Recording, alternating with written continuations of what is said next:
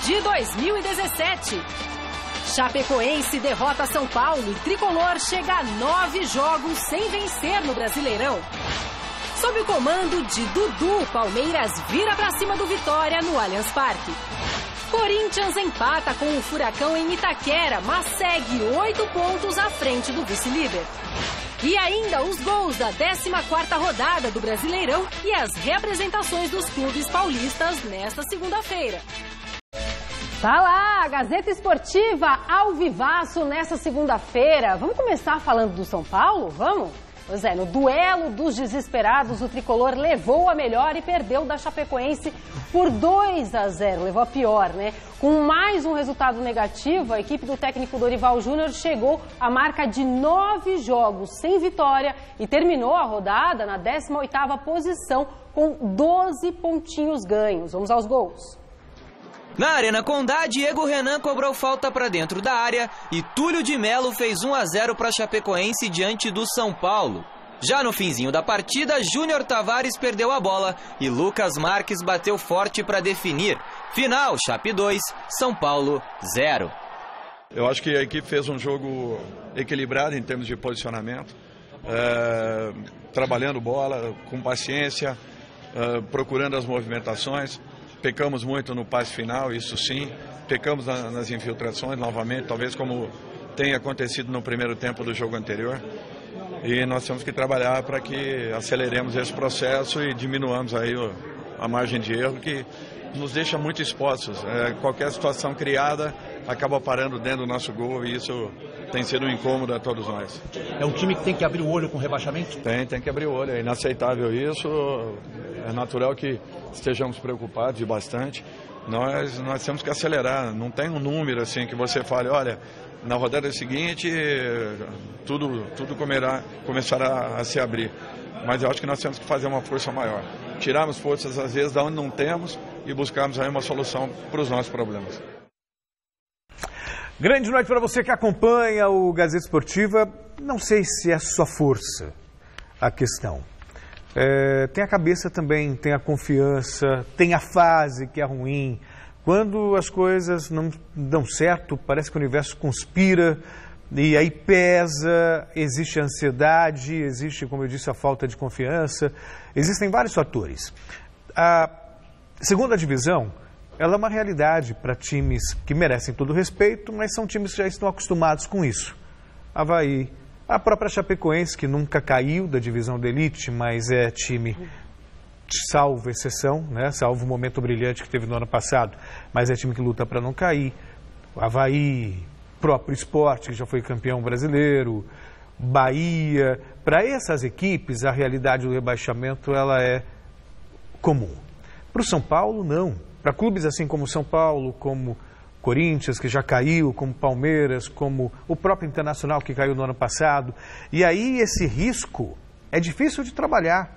Então você precisa ter um trabalho sério em campo, né, na questão tática, precisa ter qualidade técnica, mas principalmente cabeça boa. É aquela história, por que cabeça boa? Porque quando toma um gol, veja só o Corinthians, por exemplo, que é o líder do campeonato. Ele toma gol, ele não se abala. Ele tem realmente estrutura emocional para buscar o empate e até a virada. Aconteceu isso, gente vai falar daqui a pouquinho contra o Atlético no sábado. O São Paulo não. Ele toma um gol e desmorona, Flávio. Falta confiança e, por mais que a gente fale, ah, o São Paulo tem time para não cair.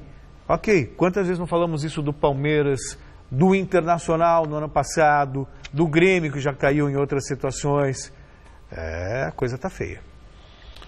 Bom, boa noite, Celso, Anitta, amigos do Gazeta Esportiva. O São Paulo, de novo, jogou uma partida no mesmo nível que a Chapecoense, o que é preocupante, né? E poderia ter vencido o jogo. Tomou gol, aí desabou realmente. Mas a mesma coisa que acontecia com o Rogério, né? O time até tinha alguns momentos de bom domínio de jogo, antes teve 75% de posse de bola no primeiro tempo, mas não sabe o que fazer da bola. Quando toma um gol, se desestabiliza e a gente vê claramente que é um ambiente ruim, né? Uma coisa pesada.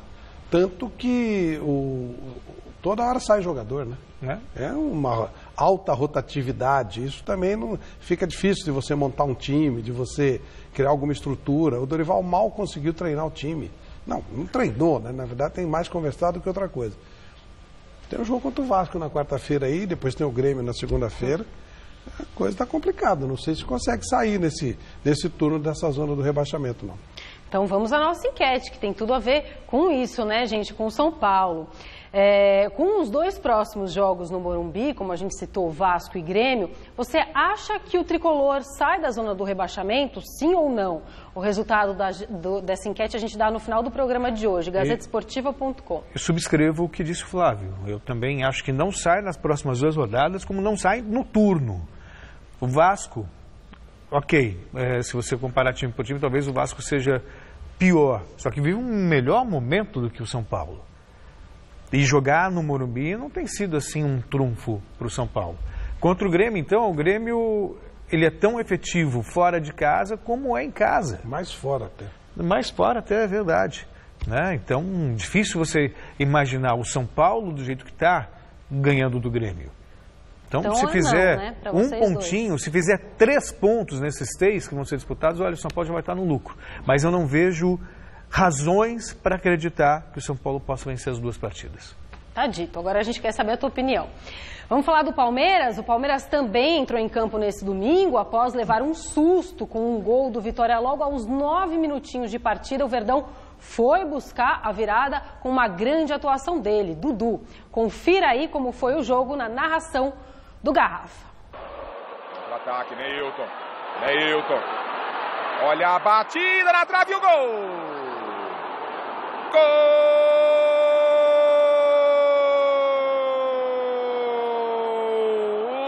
do Vitória! Correia, Correia, Correia na marca de 13. Defesa do Palmeiras aberta. Aí o Fernando preocupado, vem Dudu. Jogou lá pra dentro, caiu, Mina, pênalti! Pênalti pro Palmeiras, reclamação por parte dos, dos jogadores do Vitória. Todo mundo falando que o Minas se atirou, né? Autorizado, Roger Guedes, correu, bateu, é gol! Gol!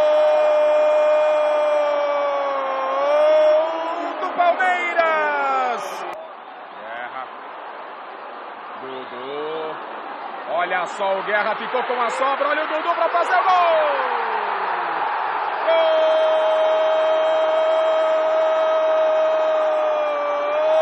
Gol do Palmeiras! Dudu, Dudu, Dudu, Dudu na rede! Dudu, Dudu no cruzamento, ele não desiste, é pro Roger Guedes. Olha o gol, vai pintar, olha o gol na trave! Na sobra, Roger Guedes, gol! Gol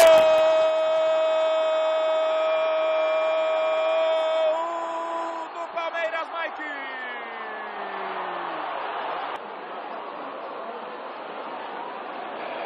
Bola pra dentro da área, olha o Dudu! Olha o Dudu!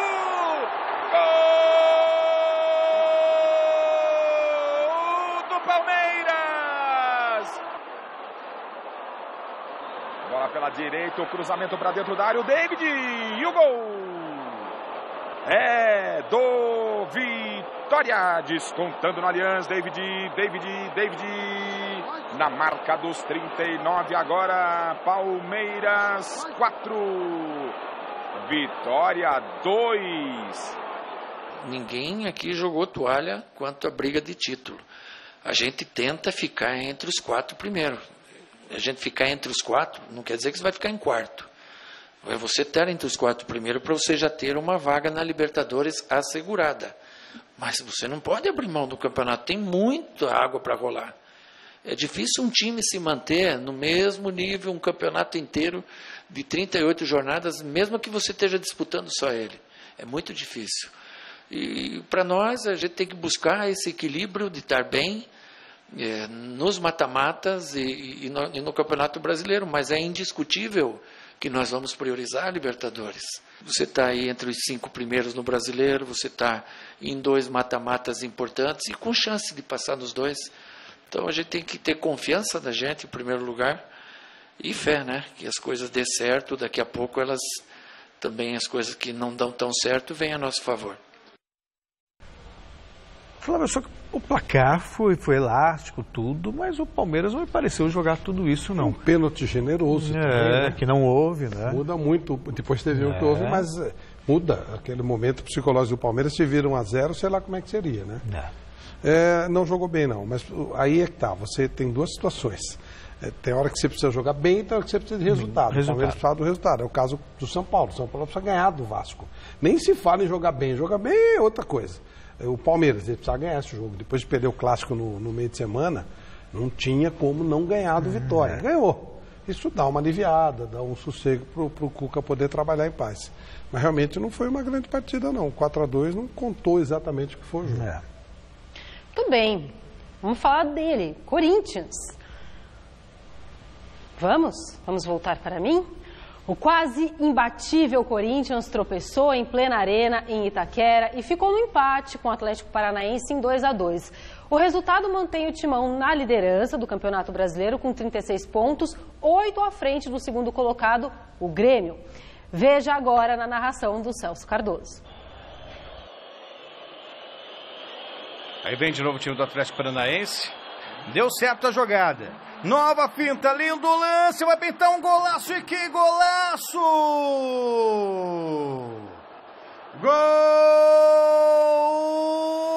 do Jonathan e um golaço! 37 minutos de jogo. Vai por dentro. Fez o toque ali para o Jadson. Vem Moisés, vai pintar o cruzamento. Olha o jogo!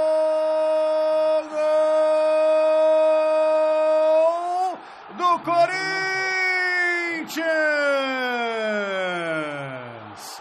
Aos 44 minutos, Jô, Jô, o artilheiro do time na temporada, empata o jogo. Ainda o Jadson tem Jô pedindo, recebeu na área o Jô, tentou domínio, ajeitou pro Michael, vem chegando o Corinthians, pintou o gol, jogou para trás, olha o Jô, olha o gol, olha o gol. Gol!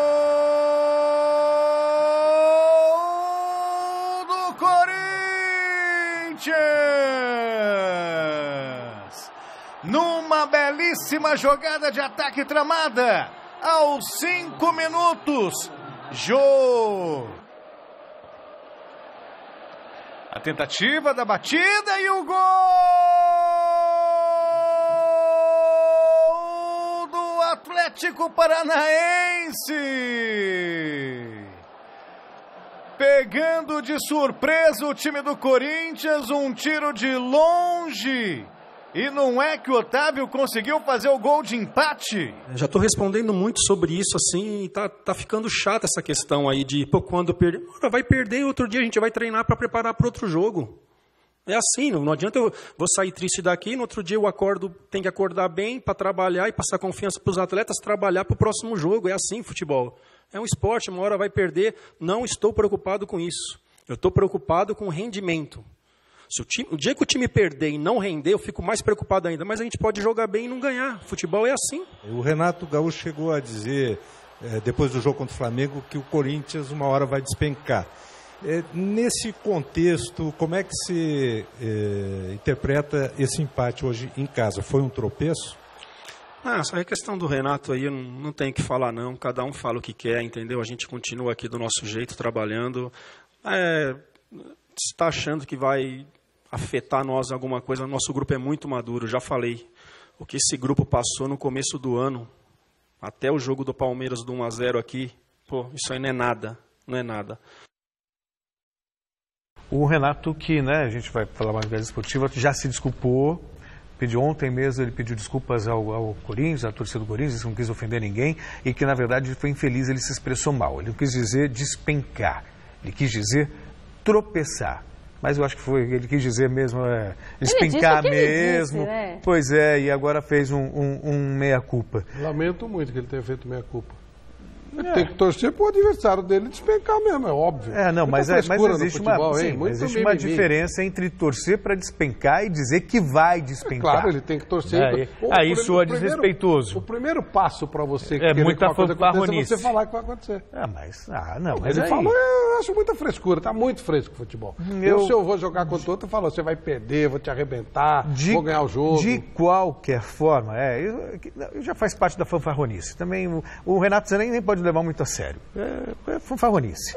É, de qualquer forma, o, não foi bem um tropeço do Corinthians, foi uma casualidade. O Corinthians virou o jogo, constru- muita segurança, construiu possibilidade de fazer um terceiro. De repente, quando tomou, foi uma bola desviada, um chute de longe, ia para fora, a bola bateu no Balbuena e entrou. E ainda assim o Corinthians perdeu umas outras duas chances de gol.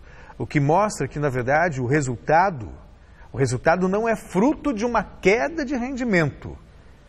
Isso que é bom destacar. Foi realmente uma casualidade, pode acontecer. Como pode acontecer de perder assim também, de repente não conseguir fazer um gol e menos tomar. que isso, como já aconteceu sim, também, Sim, né? sim, Então, é, por mais que o resultado anime a concorrência, é bom deixar claro que foi, na verdade, um tropeço, repito, pela casualidade do jogo e não por uma queda de rendimento. O Corinthians nem jogou tão bem o primeiro tempo, é verdade. Mas no segundo tempo jogou bem, é um time muito organizado, muito confiante do que é capaz de fazer, tanto ofensivamente e principalmente defensivamente.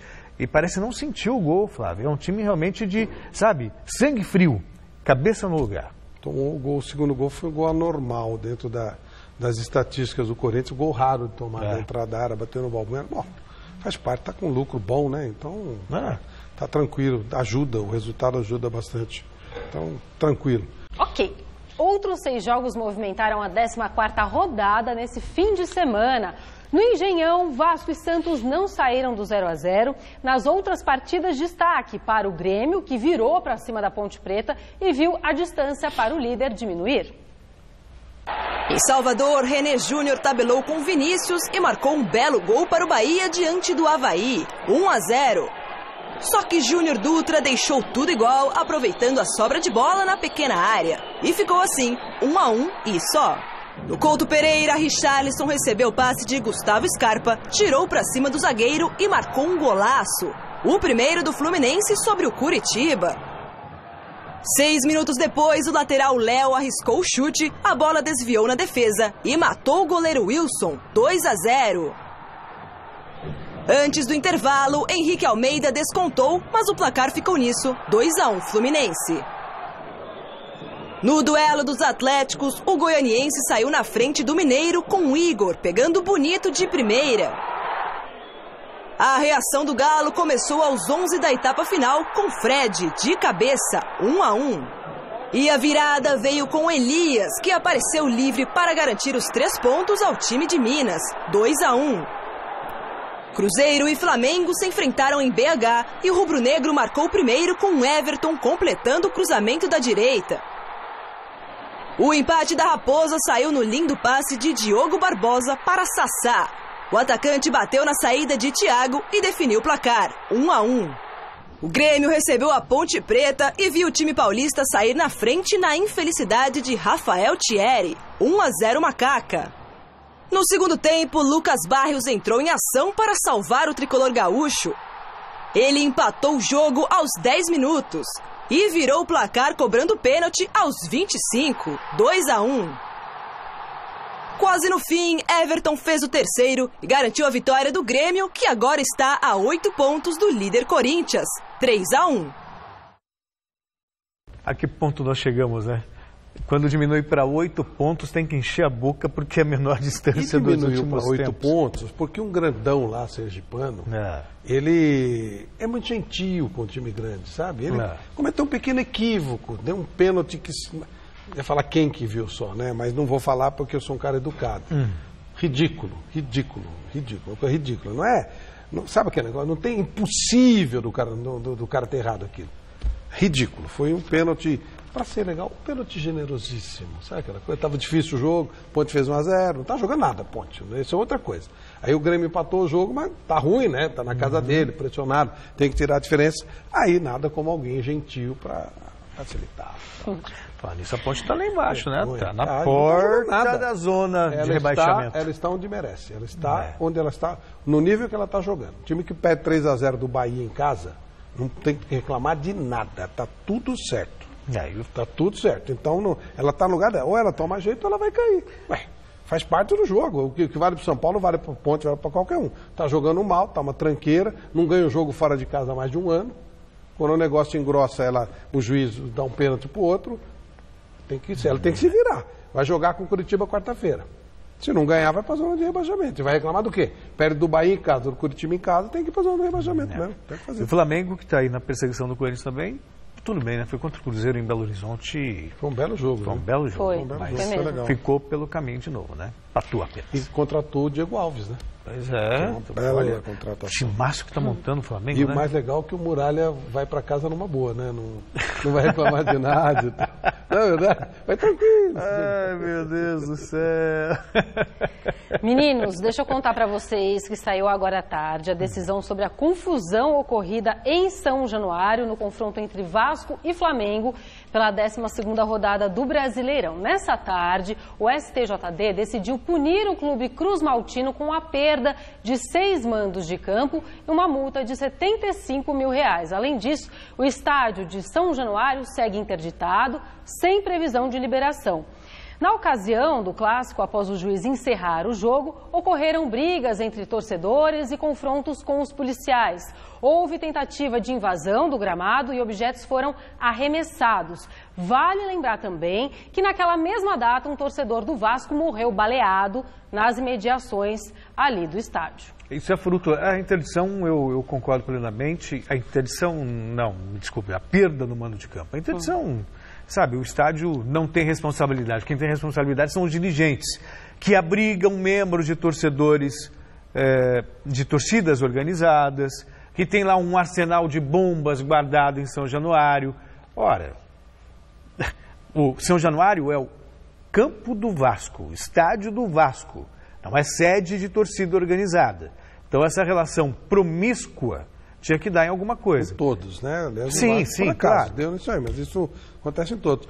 Agora, isso aí vai diminuir. Isso aí, esses tribunais de, de justiça esportiva não, não pode ser levado a Depois sério. converte em cesta Ele- básica. É que hoje apareceu muito para a imprensa, então quando aparece eles fazem, ó, e tal, para parecer que é sério. Daqui a pouco fica em dois e tal, não dá para levar a sério. É igual achar que, que torcida uniformizada não tem relação com cartola, que não são todos do mesmo esquema. Isso é- Mas daí daqui a pouco já, mais um jogo e tal, só para esquecer, depois já apareceram para caramba e tal. Vai, vai- vai ficar por isso. Aliás, no, no caso do Vasco, tem até torcedor organizado que é funcionário do clube. Praticamente em todos. né? E impedido de ir ao estádio pela justiça, mas vai lá. O diretor de futebol do Corinthians ano passado era aquela torcida uniformizada. É. O Andrés foi de torcida uniformizada. Essa praga tomou conta do futebol, meu amigo. Complicado. Bom, gente, a bola rolou também nesse final de semana pela Série B. No Mato Grosso, o Luverdense bateu o ABC pelo placar mínimo. Em Minas Gerais e Pernambuco, América Mineiro e Guarani e Náutico e Santa Cruz não saíram do 0 a 0. Já nas outras partidas, a rede balançou. Vamos ver. Brasil de Pelotas e Figueirense se enfrentaram no Rio Grande do Sul e o time de Floripa levou a melhor. Todos os gols aconteceram no primeiro tempo. Marcinho fez para o time da casa. Mas Robinho e Enan marcaram para o Figueira e garantiram a vitória por 2 a 1. O Oeste derrotou o Paraná e conseguiu se afastar da zona do rebaixamento. Gabriel Vasconcelos e Ryan Contra deram a vantagem para a equipe paulista ainda na primeira etapa, 2 a 0. O Criciúma passou pelo Goiás graças ao gol de Diego Giareta logo no começo do segundo tempo, 1 a 0 e só. Jogando em casa, o Vila Nova até conseguiu sair na frente com o Alain Mineiro. Só que na etapa final, o Paysandu foi buscar o resultado e virou a partida com gols de Marcão e Rodrigo Andrade. A vitória por 2 a 1 tirou o papão do Z4. O Londrina saiu na frente do Boa Esporte no início do jogo com o Matheus. Mas o time mineiro contou com a estrela de Tassiano para empatar e virar o placar no Estádio do Café. Quando tudo parecia definido, Ayrton deixou tudo igual já nos acréscimos e fechou a conta, 2 a 2.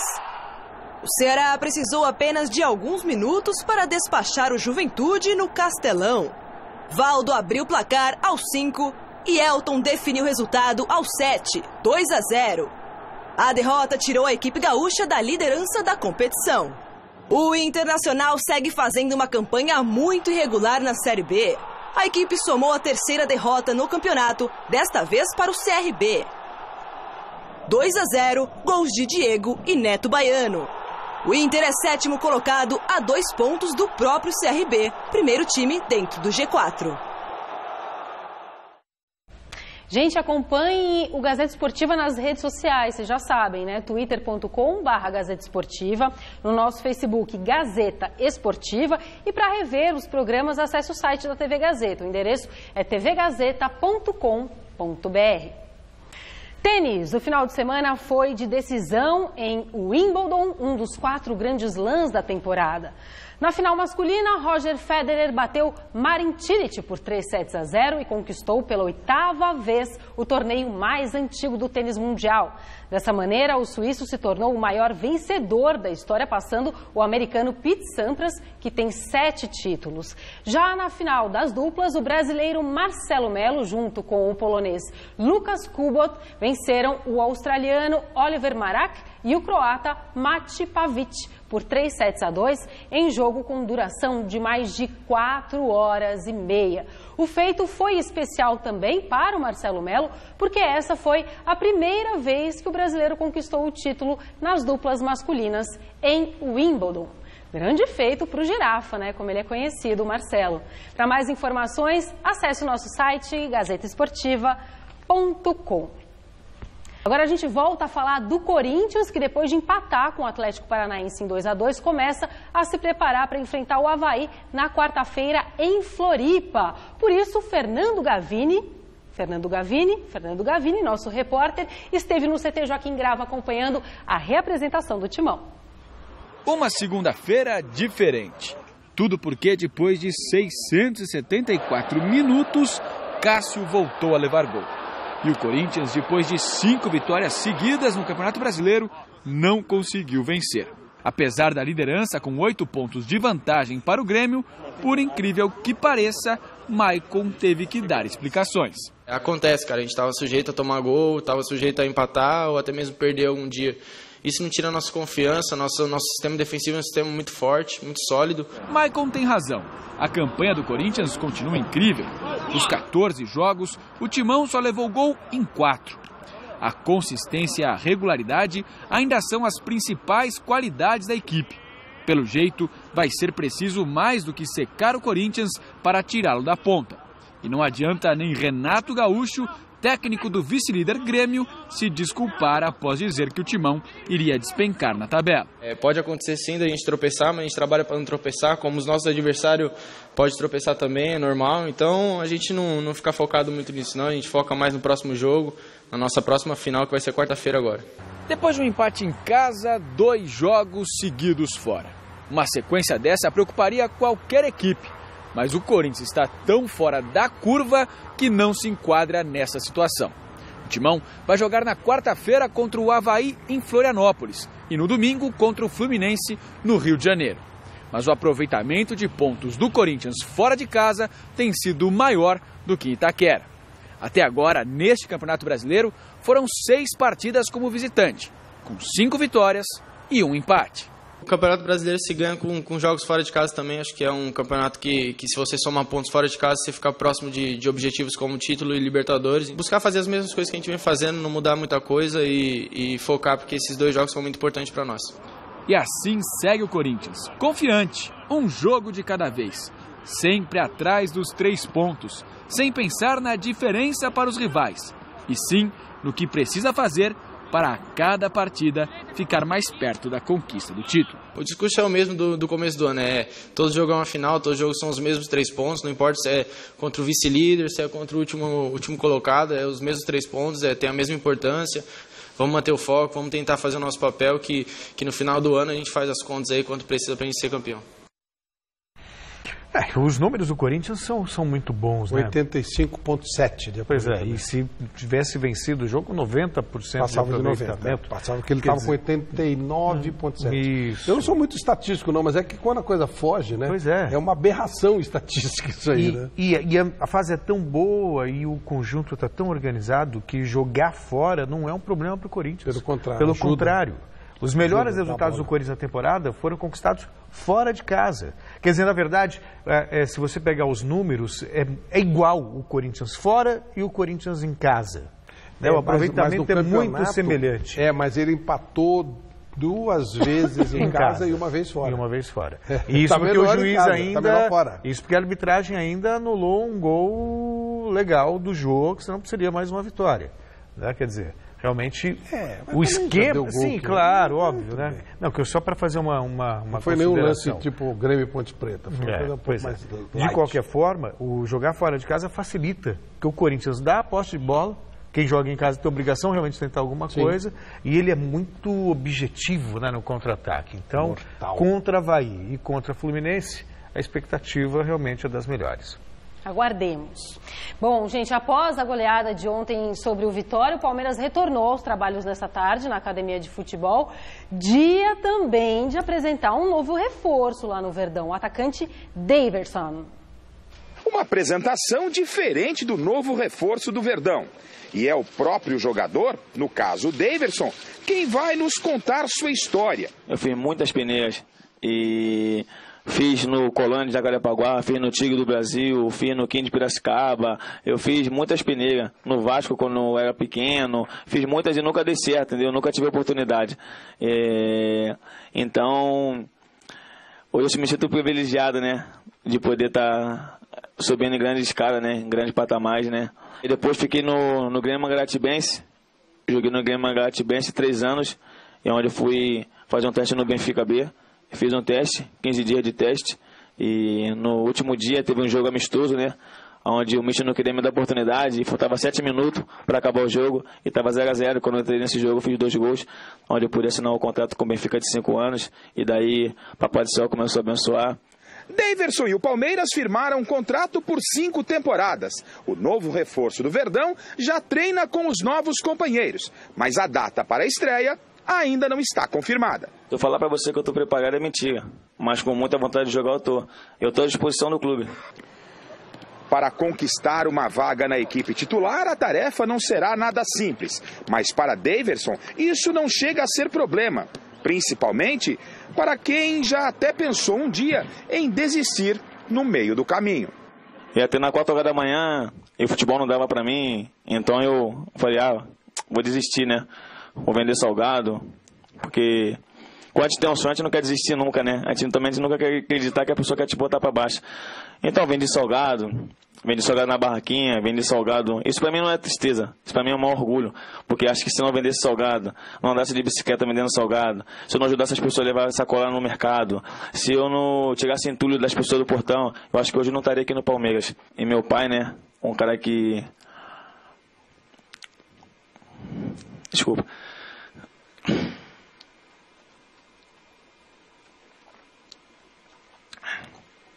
Um cara que batalhou por mim, tá no futebol, deixava de de dar comida lá em casa para poder dar dinheiro para mim treinar e é é um cara que eu tenho bastante que né, pedir a Deus pela vida dele, pela minha família, né? E sofri muito. O nome do meu pai é Carlos, é o é o cara que deu a vida por mim, é o cara que. Pai, faz o favor. Chega aí, Carlos. Pai. Um abraço no filho lá, Carlos. Vai lá, Carlos. Esse é meu herói, gente. Pra quem não conhece, é meu pai. Aí.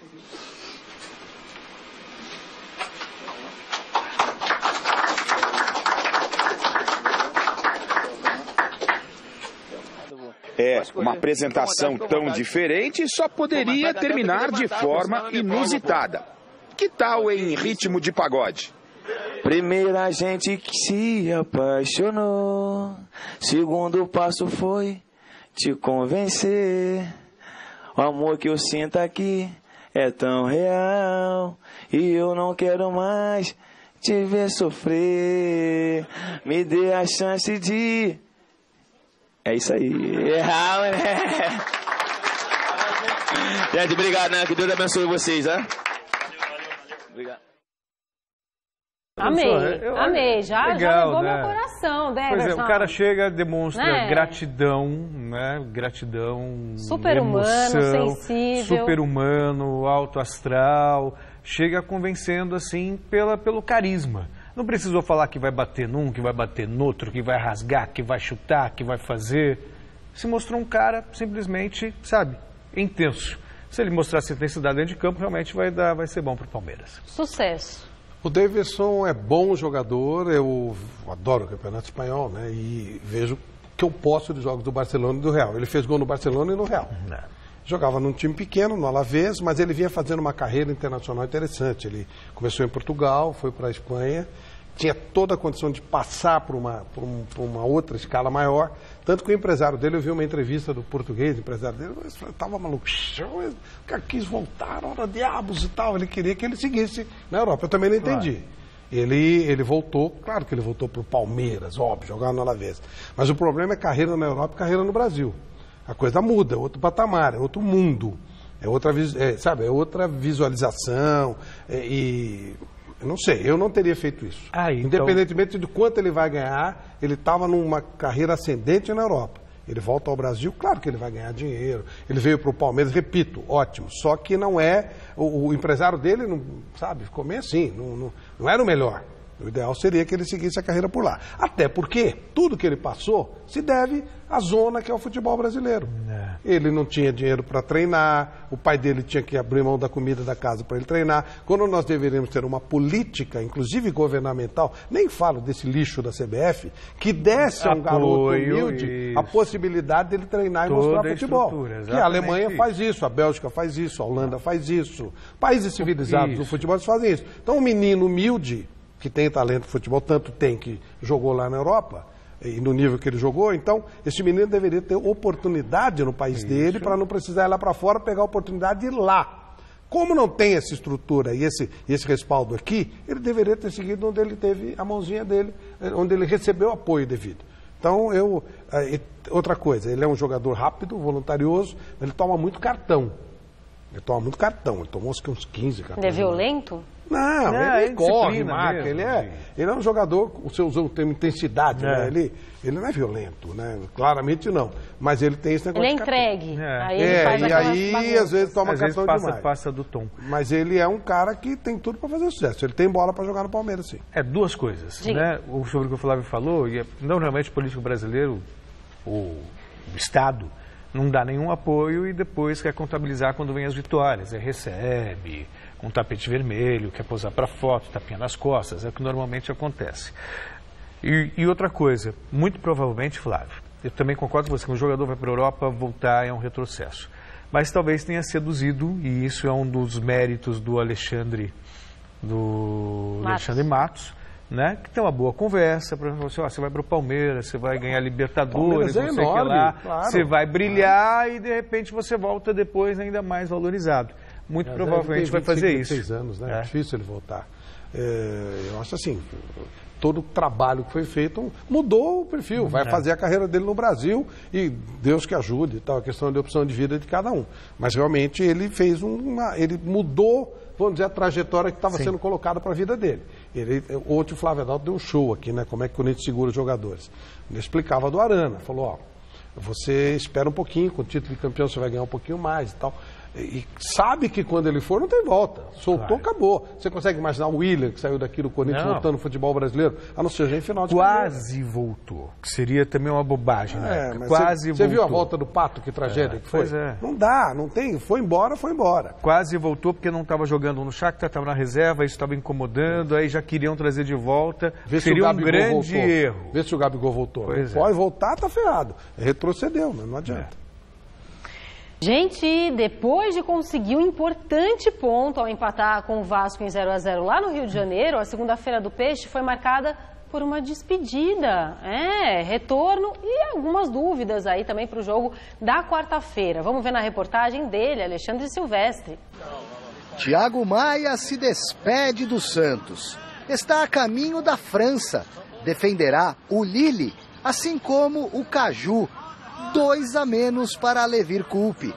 São várias as baixas no peixe. Ricardo Oliveira, que teve pneumonia, oxigena o corpo ainda debilitado. E outros ausentes também nas imagens de hoje. Renato, Zeca, Vitor Ferraz, em recuperação, Bruno Henrique e Daniel Guedes, suspensos. Nilmar, recém-chegado, à procura de condicionamento físico. Mas no horizonte surge um alento. O goleirão, titular absoluto, gigante que se curva ao pisar na linha do campo, pede proteção. A bênção agradece, seja lá qual for sua crença. Ainda lambe as feridas das bicadas que sofreu do Galo em BH. Escoriações que tiraram o arqueiro do duelo de ontem com o Vasco no Rio. Mais do que um reforço, né? Nosso paredão aí vem, vem vivendo um momento incrível. É, infelizmente acabou tendo esse contratempo aí, né? No jogo contra o Atlético, que exigiu muito dele. Teve umas divididas ali com o Lucão. Os dois são muito grandes, né? Fortes e acabou sobrando pro Vandeco, que é um pouco mais magro, né? A provável volta de Vanderlei. E dois jogos dentro de casa. Boas notícias para o terceiro colocado no Campeonato Brasileiro, a 12 pontos do Corinthians e que recebe quarta-feira na Vila Belmiro a Chapecoense e depois no domingo o Bahia no Pacaembu, para na sequência viajar a Porto Alegre para encarar o confronto direto com o vice-líder, o Grêmio. Todos os jogos são bem complicados, né? A Chapecoense vem de uma vitória de São Paulo em casa. É, a gente vem numa sequência muito boa dois jogos fora, né? Quatro pontos. A gente no G4, então é, é lutar realmente para manter, né? Cada vez mais somar pontos, porque o Campeonato Brasileiro pede isso. Campeonato longo, né? E a gente vem inventando uma performance bacana e tenho certeza que no final do ano a gente vai ter muito que comemorar. A campanha do Santos, apesar de todos os problemas altos e baixos, né, do, dentro do que dizem do que é o campeonato real, terceiro lugar. Tá bom demais. Tá bom demais. E o Santos está evitando perder jogadores. O Thiago Maia não tinha jeito, não, né? jogador de seleção de base. E o Caju foi meio em consignação, né? Vai trabalhar lá no Lille com o, o Bielsa, que está trocando tudo, trocou 11 jogadores. Fez uma revolução. Um monte de jogadores brasileiros. O Luiz Araújo já fez gol. Ah. Quer dizer, e é uma oportunidade muito legal. Acho que o Thiago Maia vai chegar e nadar de braçada. Vai para times maiores lá. Agora, a maior maldade que eu vi nesse final de semana foi com relação ao jogo do Santos. Por quê? Foi horroroso, né? Foi uma sem, coisa. Não parecia torcida, jogo de futebol. Sem nada. Então, esse foi o ponto. que o Santos se adaptou bem ao jogo, não tinha torcida, porque ele está acostumado com os jogos da Vila. Então ele já se sentiu em casa. Eu acho isso uma maldade. Mas... E eu acho que o Santos tem que jogar na Vila. Eu não quero saber do Santos fora de lá. O Santos tem que jogar na casa dele. Mas essa, essa é uma piadinha boa, eu gosto. Claro. Né? Se bem boa. que o Levi conseguiu fazer uma piada ainda melhor, né? É. Ele falou assim, pô, para ele foi estranho, porque não tinha ninguém xingando ele. É Absolutamente ninguém, nem do time é dele, é do... nem do time de fora. É, ele é a história do burro com sorte. É, né? e não tinha ninguém para chamar ele de burro. burro é, burro, burro, burro. Fez o certo, olhou para trás e falou burro com sorte. Vamos para o lugar onde está rolando a crise. Depois de acompanhar a reapresentação do Palmeiras lá na academia de futebol, o repórter Osmar Garrafa aproveitou deu uma curta caminhada, que ele está precisando, né, até o CT da Barra Funda, para ver como anda a crise lá no São Paulo, que pelo menos por enquanto não parece que vai ter fim, não, viu? É isso, Anitta. Depois de mais uma derrota no Campeonato Brasileiro, a segunda-feira do São Paulo foi assim, ó com portões fechados. E não é porque o técnico Dorival Júnior está lá dentro, não, comandando alguma atividade secreta. É porque o tricolor está na estrada. É isso. A delegação do São Paulo está retornando de Chapecó de ônibus. Serão aproximadamente 13 horas de viagem a, o elenco tricolor só vai chegar aqui no CT por volta das 22 horas. Eu vou explicar o que aconteceu. Ontem, ao término da partida, o São Paulo tinha um voo para a cidade de São Paulo, mas o aeroporto, devido ao mau tempo na cidade de Chapecó, esteve fechado. A delegação foi obrigada a dormir na cidade catarinense. Hoje pela manhã, o aeroporto ainda permanecia fechado e aí, numa decisão da comissão técnica, o time fretou um ônibus e seguiu viagem de Chapecó para a capital paulista. Quer uma notícia pior que essa? Assim que a delegação do São Paulo saiu de Chapecó, o aeroporto abriu. O pior que tudo isso é a situação do São Paulo dentro do Campeonato Brasileiro. O tricolor não vence há nove partidas, Anitta. São seis derrotas e três empates. O São Paulo é o 18 colocado com apenas 12 pontos somados. Precisa de três pontos para sair da zona de rebaixamento, né? Mas não é tarefa tão simples assim. O São Paulo, para tentar fugir da zona de rebaixamento, terá dois jogos essa semana na cidade de São Paulo. Ou seja, na quarta-feira enfrenta o Vasco da Gama no estádio do Morumbi e na segunda da próxima semana, ou seja, daqui a uma semana, joga com o Grêmio que briga pelo título, está na parte alta da tabela, também em casa. Para a partida contra o Vasco da Gama, as atividades foram prejudicadas. O treinamento de hoje, obviamente, não existiu e somente Dorival Júnior vai comandar uma atividade amanhã e aí sim confirmar o São Paulo oficialmente. Dorival Júnior falou ainda em Santa Catarina, que está preocupado com a situação do São Paulo, que o São Paulo corre sério risco de rebaixamento. O Petros afirmou depois da partida, que falta atenção aos jogadores do São Paulo para que não tomem gols infantis e acabe gerando mais o desconforto na defesa e consequente em outra derrota. E o goleiro do São Paulo, o Renan Ribeiro, disse que não sabe o que fazer. Ele não sabe qual é a receita para o São Paulo fugir dessa situação. Repito, delegação chegando hoje às 22 horas na capital paulista e amanhã um único treino para tentar vencer o Vasco da Gama e respirar no Campeonato Brasileiro do CCT da Barra Funda, Osmar Garrafa, para o Gazeta Esportiva. Ah, Flávio, se olhar no... Quinha, que... Pois é. Ô, fase, hein? Nossa senhora. E olha que até tem jogadores bons lá, né? O Prato, você vai falar que o Prato não é bom? Né? O Jusilei. Fica falando muito que eles vendem. Pois é. Não fala muito que eles vendem. O Cueva, sabe? São bons jogadores, só que a fase... A Cueva fase... quer ir embora, É. o Jusilei chegou agora, o Prato... Porque aí é que tá, é ambiente de trabalho. É. Você vê que o São Paulo tá, todo mundo tá, ninguém está querendo trabalhar lá. Isso é um pepino, isso é sério. Você tem que trabalhar com alegria, senão a coisa não funciona. Nenhum técnico dá jeito. Tem bons jogadores, entre aspas, ok. Para nível Brasil, ok. Sim. Mas e aí? Vem o Osório, problemas, que é um técnico internacional Claro, renomado. claro. Aí no lugar dele o Doriva. Ah, novato, não dá para segurar, ok. Aí trouxe o Balsa, duas vezes campeão da Libertadores. Não deu jeito também, quase caiu. Aí veio o, o, o Rogério Ceni, Rogério Ceni. mito, o cara, pô, conhece tudo do time e tal. Não deu jeito. Agora trouxeram o Dorival. Dois jogos contra dois times horrorosos, um ponto. Pode até É ser. uma coisa que está enroscada lá, né? Mais, mais, gra... mais, mais do que simplesmente dentro do campo. É, pode ser que, de repente, vamos imaginar que mesmo jogando mal, isso acontece muitas vezes, consiga uma vitória. Talvez seja uma vitória que dê um pouco mais de confiança para esse time. Eu acho que, Flávio, a Mas aí press... o autor do gol eles vendem. É, e pior fica que tem a janela vai até 31 de Então, agosto, você- né? A Golden, pronto, já vende. É. não dá, né? Não dá para trabalhar desse jeito. Não, e pior não é isso, é vender e se vangloriar, né? Vangloriar, não, nós vendemos, tal. É. e- Gente, não existe isso. Você precisa de um planejamento, né? De um planejamento para o ano.